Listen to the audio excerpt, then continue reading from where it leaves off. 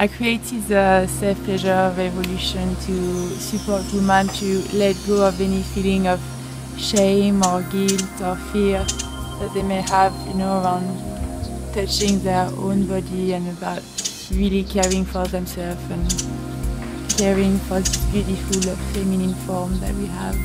I really want to reach as many uh, women as I can because we can't really be in our uh, feminine power if we are not embodying it in our body.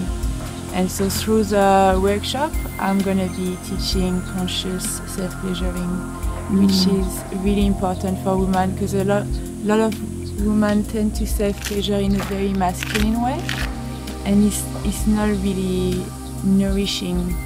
It's not really even satisfying. I know I used to self pleasure that way, and I would self pleasure three times in a row and still felt a sense of something missing inside.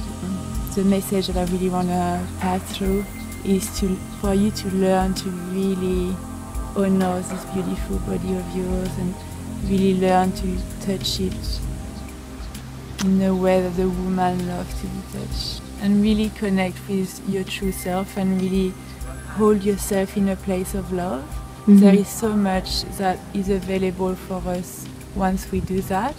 So and much pleasure. holds a lot of wisdom, and I really hope to get that across to you as well during the workshop.